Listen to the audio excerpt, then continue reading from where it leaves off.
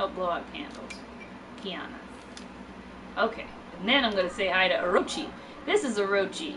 He is, I think he's this guy's brother. Pretty sure he's this guy's brother. Let's see if we can show the actions, open profile. It is his brother. Oh, they were childhood buds. I never knew. I never knew. Okay, so back to what I was trying to. Oh, take it out of trash. She is trying to get laid.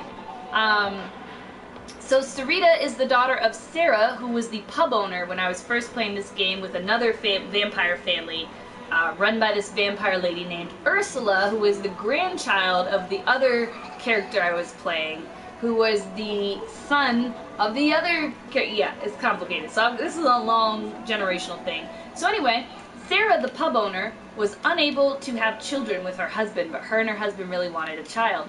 So I had my Sims husband's brother impregnate her twice so that that couple could have children. So Sarita doesn't even realize she's related to all these people who keep coming to visit her. She just thinks they're friendly people, but they're all vampires and stuff, so they know that Sarita is related to them and they take care of her. So when she saw how much Sarita was struggling trying to run this ranch and deal with her two children and all this stuff, Ursula, the matriarch, sent her youngest adult son, Daichi, to live with them. And so Daichi, he doesn't need to sleep, he doesn't need to eat, he doesn't need to shower. He's already got his babies, he's already been to college. So all he's doing here pretty much is taking care of the animals, cleaning the house, helping to raise the babies. It's been great.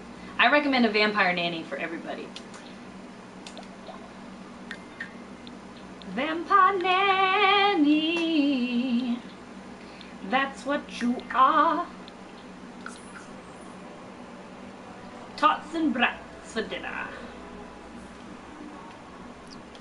Alrighty. So now that we gotta get her a bed, let's go ahead now. Go ahead and get her a bed. Her husband, Dane,